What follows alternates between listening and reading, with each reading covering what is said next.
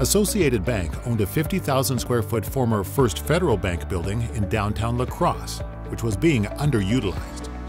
As the bank was struggling to find more efficient office space in a tight downtown market, the idea to swap properties came to mind.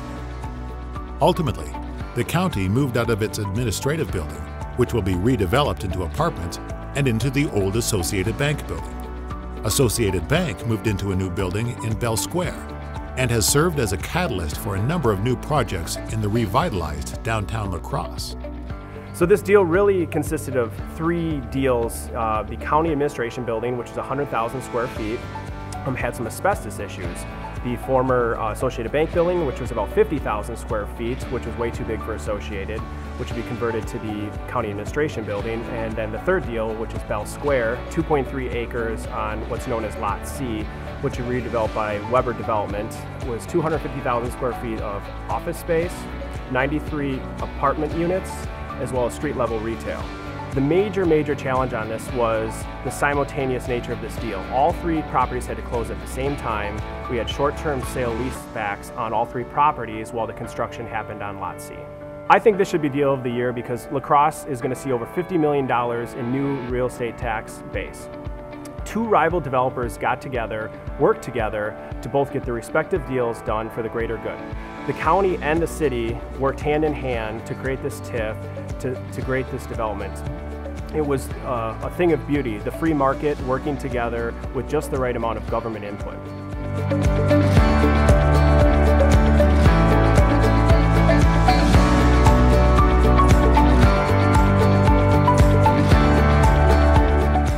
Milwaukee Electric Tool was established in 1924 and moved its operations to Brookfield in 1965, where a 19,000 square foot facility housed operations. Since 2009, employment has grown by more than 550 and sales from $500 million to more than $2 billion today. In planning for future growth, it became evident the campus needed to be expanded. Milwaukee Tool, with the approval of the Board of Directors, invested $33 million into a 204,000 square foot, four story office building adjacent to its current facilities. Milwaukee Tool's expanded headquarters will allow it to become the largest employer in the city of Brookfield. We knew Milwaukee Tool wanted to be on their campus right next to their existing building. However, the site constraints were such that we couldn't build the building there was not enough green space and there certainly was not enough parking. And the idea was to transfer the development rights from your property over to Milwaukee Tools property that had never been accomplished in the city of Brookfield in, in, their history. It's a very dynamic neighborhood, so we had to work very closely with the neighbors and the city on positioning the building correctly uh, so it doesn't create any light pollution or any noise. This is the Milwaukee Tool headquarters. It's also the, the Global Design Research and Product Development uh, Center. This was a big win for the city of Brookfield and it was a big win for the state of Wisconsin.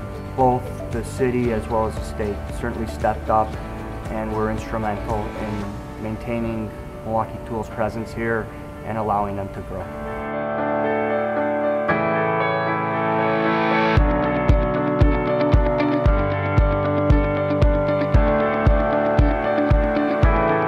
The Restaurant Depot, a national food wholesaler and restaurant equipment supplier, was looking to move its operations on South 6th Street near General Mitchell International Airport.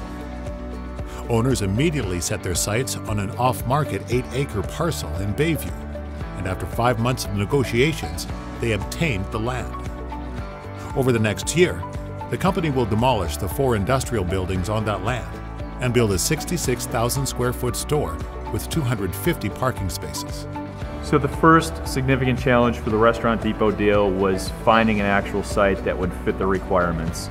Restaurant Depot wanted between a five to eight acre parcel that was located close in close proximity to the east side of Milwaukee through the Bayview neighborhood. In a mature, mature marketplace like the east side through Bayview, there are very limited parcels of that size. So what we had to do is go on an off-market basis and identify potential candidates that could fit five to eight acres.